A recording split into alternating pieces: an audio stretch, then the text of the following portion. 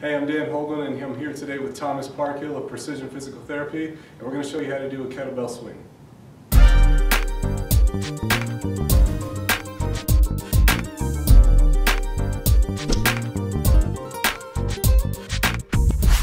So in the kettlebell swing, a couple prerequisites that you have to have are first the hip hinge, and I explained that earlier in the kettlebell deadlift video, so if you haven't seen the hip hinge yet, check that one out. It's under the kettlebell deadlift. Um, another thing that's really important with this one is the amount of weight you're using. We're going to start off today with a 40 pound kettlebell. It doesn't necessarily need to be extremely heavy, but it does need to be enough weight to get a good amount of weight shift and snap from the hips.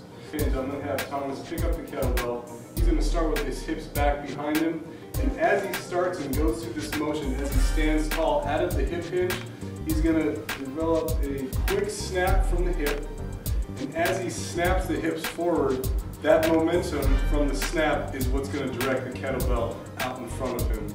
A lot of people that do this exercise, they want to tend to lift with their arms out in front of them, and that's not what we're going to do at all. All of the weight that's shifted from the hips is what's going to give the momentum to bring the weight out in front of him. So Thomas is going to go through a few reps of the kettlebell swing.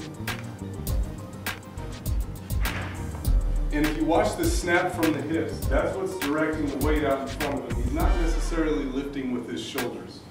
The breathing patterns here are as the kettlebell swings down in between his hips, he's going to breathe in, and as he snaps from the hips and the kettlebell moves up, he's breathing out as well. He's keeping a nice straight back. His neck is also staying in line with his back. And that's the kettlebell swing.